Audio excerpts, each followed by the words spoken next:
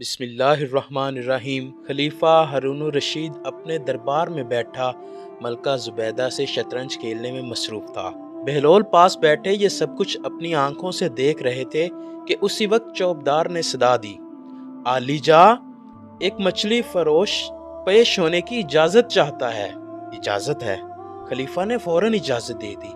مچھلی فروش اندر داخل ہوا، کہنے لگا، آلی جا میں آپ کے لیے بہت عمدہ مچھلی لے کر حاضر خدمت ہوا ہوں۔ ہرون نے زبیدہ کی طرف دیکھا اور آہستگی سے کہا، یہ بیچارہ انعام کی تلاش میں ہمارے لیے مچھلی پکڑ کر لایا ہے۔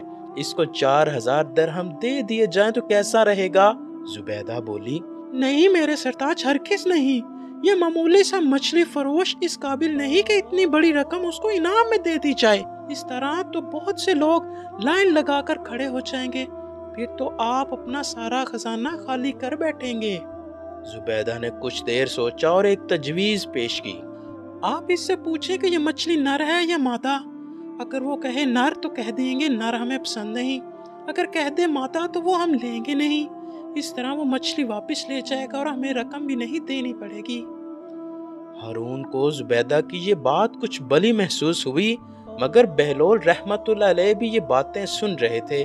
انہوں نے بادشاہ سے آہستگی سے کہا، مچھلی فروش بڑی محبت سے آپ کے لیے عمدہ مچھلی پکڑ کر لایا ہے۔ یہ مناسب نہیں کہ ملکہ کی باتوں میں آ کر اس کو نامراد لٹا دیا جائے مگر بادشاہ نے بہلول کی ایک نہ سنی اور مچھلی فروش سے کہا اچھا بتاؤ، یہ مچھلی نر ہے یا مادہ علی جا، یہ مچھلی نہ نر ہے نہ مادہ، بلکہ یہ تو مخنص ہے ہارون نے جواب سنا تو بے ساختہ ہنس دیا۔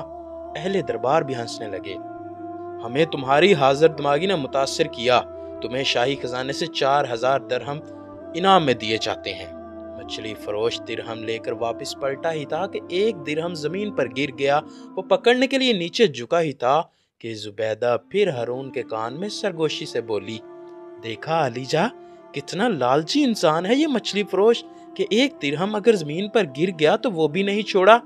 جبکہ باقی سب تو اس کے اپنے پاس ہی تھے نا۔ کیا خبر کوئی اور ضرورت مند وہ درہم اٹھا کر اپنی ضرورت پوری کر لیتا؟ ہارون کو یہ بات بہت کھٹکی اور فوراً مچھلی فروش کو پکڑ کر پیش کرنے کا حکم دے دیا۔ بہلول نے بھی ملکہ کی یہ بات سن لی۔ آلی جا، ملکہ کے کہنے پر آپ مچھلی فروش کو نہ روکیے، اسے جانے دیجیے۔ مگر ہرون نے کوئی بات نہ سنی اور مچھلی فروش سے کہنے لگا۔ اے سیاد ہمیں تیری یہ حرکت بہت ناگوار گزری کہ تیرے پاس چار درہم موجود تھے، پھر بھی تم نے جو ایک درہم نیچے گرا، وہ بھی چھوڑنا گوارا نہیں کیا کہ شاید تم نہ اٹھاتے، تو کوئی اور ضرورت مند اٹھا لیتا۔ آلی جا، جان کی امان پاؤں تو کچھ عرض کروں؟ مچھلی فروش کہنے لگا۔ حضور والا، یہ غلام پست فطرت نہیں، بلکہ نمک کی قدر کرنا جانتا ہے۔ میں نے اس لیے وہ درہم اٹھا لیا کہ اس کے ایک طرف قرآنی آیات لکھی ہیں، جبکہ دوسری طرف آپ کا اسم گرامی۔ تو پھر میں کیسے سوچ سکتا ہوں کہ وہ زمین پر پڑا رہے اور لوگوں کے پاؤں اس پر آتے رہیں؟ مچھلی فروش کی حاضر دماغی نے سارے دربار کو حیرت میں ڈال دیا۔ خلیفہ بے ساختہ بول اٹھا، واہ، بہت عمدہ جواب دیا، شکاری تم نے، ہمیں بہت محظوظ کیا۔ ہرون نے خزانچی کو حکم دیا اس شکاری کو چار ہزار درہم اور دے دیے جائیں۔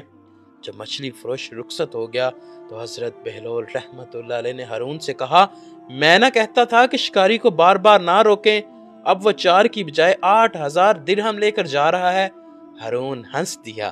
ہاں،, ہاں واقعی مجھے تمہاری بات پر غور کرنا چاہیے تھا۔